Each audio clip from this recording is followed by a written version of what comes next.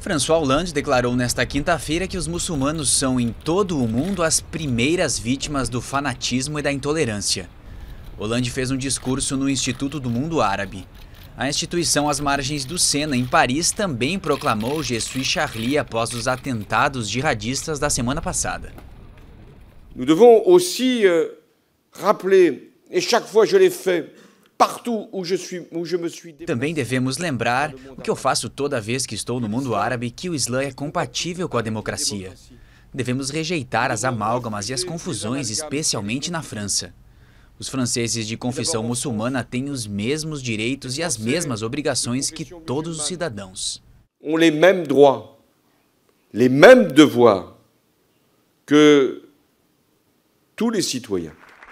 Segundo Hollande, a liberdade e a democracia são valores que nunca vão ser negociados no país. O presidente disse ainda querer que os muçulmanos que vivem na França possam se sentir unidos, protegidos e respeitados da mesma forma que devem respeitar a República.